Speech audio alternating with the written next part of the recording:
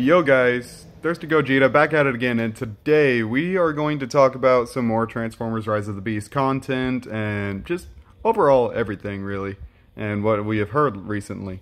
So, of course, we got a, a photo here of how I was talking about Optimus Prime's design in the NFL. Well, commercials and such, or like I don't know. They were just showing off Optimus and Optimus Primal, which we will get to Optimus Primal here in a little bit. Um, so this is what I was talking about, how they kind of changed it up a little bit because uh, they kind of beefed up his chest. Like they made it, it looks like they gave him a chest lift. There we go.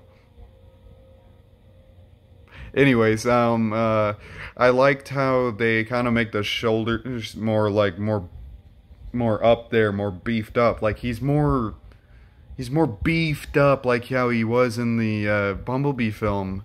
And in the trailer for Rise of the Beast, he was all like slouched down. and uh, his chests were like going like this imagine this is windows they were going down like that how they would in uh and Bayformers and here well the reason why it kind of looks drooping down because he's well you're kind of looking somewhat up at him. So he's trying to look, no, he's looking more um, robust and more giant. Anyways, um, big props to um, to them making his torso a little more thickened out. I I like how they did that, and um, it possibly could have been a reason that they weren't exactly finished with the uh, CGI model.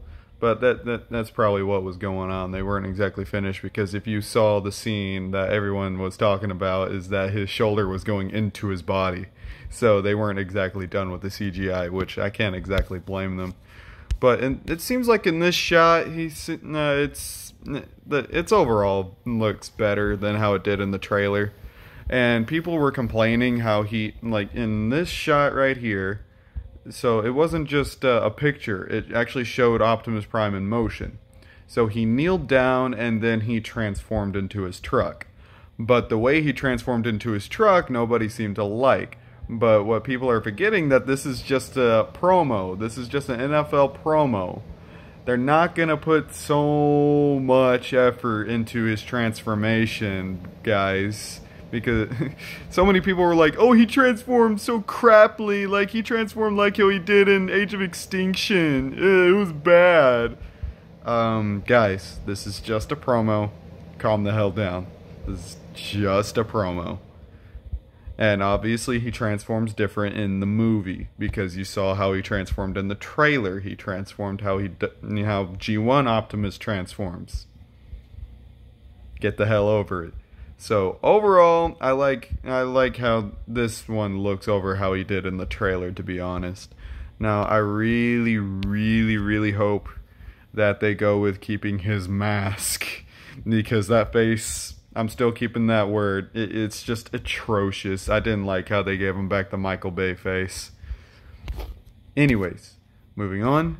Now this, this, holy shit. So the figure for Scourge just got leaked. And uh, this this is obviously his face and like upper body, and you see the smokestacks all behind him. And honestly, I look, it looks very nice. I like how it looks. Now, people were saying that this was the Studio Series figure, and it kind of made me a little worried to be honest because this to me looked more like a uh, mainline figure. Because I'm like I'm literally looking at studio series figures over here because I got Optimus Prime and everybody like that and um, I don't I don't really see a resemblance because the painting and the overall sculpting and the overall configuration of the figure. Now, I'm not saying that this is a bad figure. No, I'm not. I'm just saying that this to me looked more like um, a mainline figure than it does a studio series figure. But if this is what they're going for, okay, I guess. I mean, the painting can be touched up a little bit more. And the transformation, I mean, I guess it's okay. I mean, in the scene where he it showed him standing over Optimus in the trailer and then stabbing Bumblebee, I get I guess that's when he Battletrap and uh, Nightbird first got to Earth. So I guess they're still in their Cybertronian forms and with their Cybertronian modes. So you don't see any more of the car parts or anything like that. And because if you see in the trailer, you don't see the smokestacks or or anything. And I was kind of like worrying about that for a little bit because I didn't want it to end up like a Michael Bay transformer where it just like the they're making their transformers just look too human and making all the car parts just completely disappear. But it seems like um, uh, then I came up with like, oh, duh, he he just got to Earth because in the previous shot it showed three pods landing on Brooklyn. That's obviously Scourge, Nightbird, and Battletrap. So they probably still have their Cybertronian modes. So they probably don't look exactly to their car modes or truck mode or whatever the fuck. But anyways, um, I like uh, how they dealt with the backpack here, nice and flattened out. Now I can see it getting in the way of his some of his articulation when it comes down to his shoulders and arms, but I mean overall it won't be too bad. And I do like his claw; it looks very fucking cool. And uh, I do like the the the bumblebee stabber. I guess that's what we're dubbing it. Well, what I'm dubbing it. And I I like his uh, little little blaster here but what I was wondering is like they removed his entire fucking arm. Like you can tell like I know that's where the swivel is supposed to be, that right there. But um wait, I think I can draw. Can I draw? Oh my god, I can. But yeah, that right there is where his swivel is supposed to be. And um so that, that's a that's okay like we've dealt with removing whole limbs before and replacing them with the gun or the weapon, but all right. And here he is in a cool pose, and it seems like that his uh, his claws will actually be like real, like real joints, like obviously joints, but jointed to the brim. There we go. And here's his truck mode. Now it, um, I mean this is something that plagues a lot of uh, Transformers that turn into trucks and a lot of Optimus Prime figures is that um, the cab section, like the front, doesn't look bad at all, and the back really, really uh, gets hit a lot. But it's normal for Transformers, I guess. And um, overall, I think it's okay. I think it's I think it's serviceable. And now these are bent right here, but of course that's for how he looks like in the transform. No, it looks like in uh, in his robot mode. Because if you look at the original truck, I I don't think I have it. No, I don't. I thought I had a picture of it. But anyways, uh, if you look at the original truck, that these certain spots right here they're more straight. And this is more like lifted up right here. That's cool. I'm going to use that for more of my videos.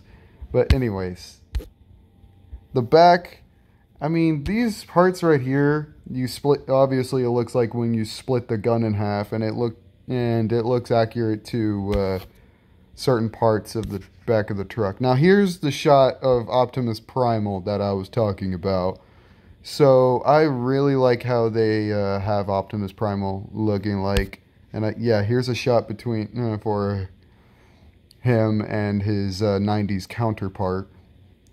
Honestly, it's okay. I love it. I like how it looks, and um, I honestly still think they should give him a little bit of color Now, I know they're making him look like he's been there for a long time, but here's what I think, here's what I propose they should have done, is um, make these like a very, very rusted gunmetal red and certain parts on his arm the same way. And then make his head a little more like dark blue. Just more rustic and looking old. That's what I proposed it should have been. But hey, it still looks very badass. I just saw this right now, and this is going to be a funny. He's got the Batman signal on his uh, on his chest. Yeah, you see that? That's funny. Ha ha ha ha ha. Oh, Jacob's so funny. I want to die. So about this. so this is a this is a Terrorcon named Freezer. He's our fourth officially named Terrorcon, and I'm getting a little afraid be- that the Michael Bay-ness is coming back because look at that design. It it's something. It, it, oh man, it it it looks like Michael Bay's bullshit. it looks like Michael Bay's bullshit. And people don't seem to have a problem with it from the Transformer fan point of view, not the casual fan point of view, because the casual fan point of view, they some of them a good portion of them don't understand they don't understand. They just go, ooh, big robot, fight big robot. It looked cool. They turn their brains off when they watch these movies. But, um, I don't know what to make of this. I'm real, real, real weirded out. I know this guy is probably not going to have much to do in the movie if he shows up. And also, we were told that he's supposed to be like a fossilizer now, if you don't know what fossilizers are, they were transformers either in the Maximal or the uh, Predacon factions that turned into skeleton dinosaurs or extinct animals. They turned into the skeletons of that, hence fossilizers. And they could you could split their body parts and turn them into weapons for the written for the normal transformers, like the the original Maximals, like Optimus Primal or the uh, Predacons like Black Arachnia. If I said Megatron as Predacon, you'd probably be confused. So yeah, this is what he's supposed to be, and here's a whole body shot right here. And I still, I'm getting major Michael Bay vibes, and I don't really know what to make of it. Now, Arcee. Arcee's been getting a lot of shit lately, and I can kind of understand. So, um, let me show you a full shot of it, and you'll see why. That kind of looks bad, to be honest. I mean, I understand it's a core class figure, or from uh, my early 2000s mind, it Legends figure and um, I mean, I understand what they meant by that. It's a it's a decent looking bike, a motorbike, and oh, we'll get to that Bumblebee here in a minute. But um, they could have done this a hell of a lot better, to be honest, because I know they've made small motorcycle transformer figures before, and they made it hell of a lot look, you know, looking a hell of a lot better than this. And honestly, they they could have they could have done better. Because in the trailer, if you couldn't see that she had both of the tires on her back and then she could detach the tires and put them on her feet so she can quote unquote skate. And honestly, they could have made that into a little cool gimmick, to be honest. But uh, they just decided to go for this and uh, turn her gun into a black piece of shit. I mean, I know people are still going to get it and review it. I mean, all right. And uh, what pisses me off the most is that they could have made her like real chest, which is the front of the uh, the motorbike, but they put it on the her ass. So she's got two faces of the motorcycle. That it's just like, what the fuck? You could have done better than that. Come on, Hasbro. Now Bumblebee. This is where they didn't exactly fuck up. This is a beautiful looking figure. I love how it looks. Um, so I'm on the bandwagon of everybody else. They're saying that the yellow, more yellow on Bumblebee's face is a little weird, which, uh, to be honest, yeah, it kind of is. But and because in the in the trailers you don't you don't see that, but you see that in the promotional art and everything like that. And I really like how it looks. I really like how it looks. And um, Okay, what kind of gets me off is this is the only thing besides the yellow on his face. The only thing. Other than that, it's an overall perfect figure. The hands, basically being attached to his arms, and it's just like, eh, they could have they could have done like at least a up and down like they normally do with Bumblebee figures. But overall, uh, the it looks amazing, and I've seen the transformation for it, and it's not too hard, but it's like it's okay for me for someone who's been playing with transformer figures for god knows how long literally shit as long as the transformers 1 film has been out. I've been a fan for transformers for 16 years. Well what's going to be 16 years this year but overall 15 years.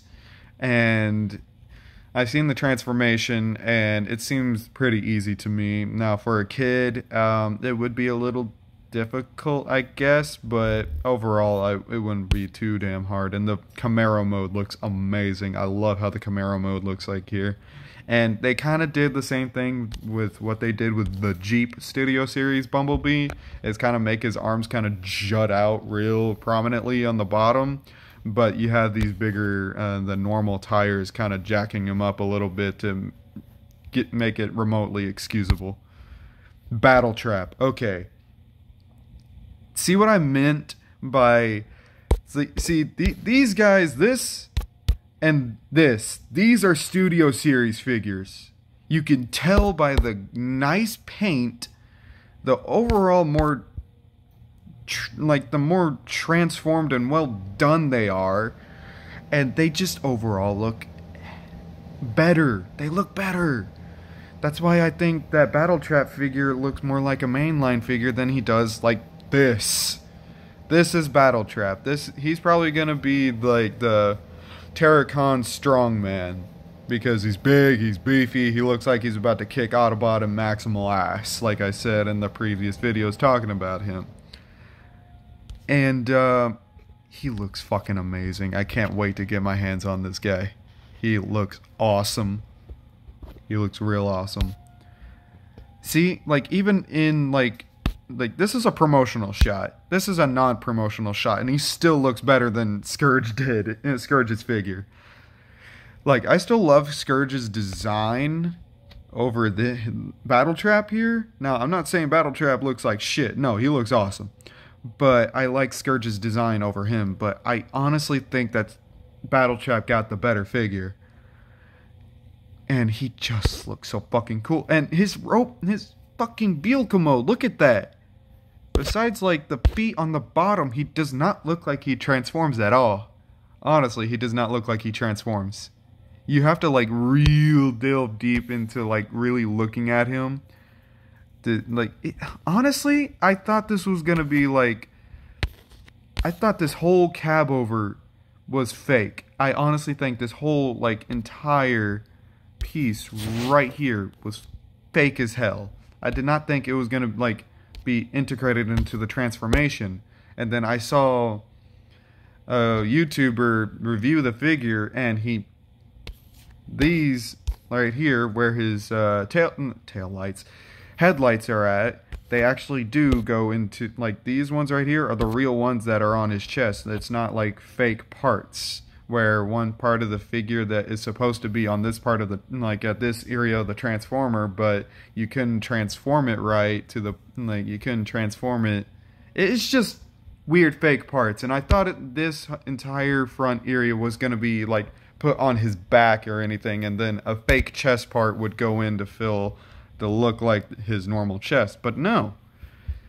I don't know what they did with this promotional shot here, but they made this look like it was fake, where it did not look like it could transform at all, but it obviously does. So I think um, borderline black magic going on here.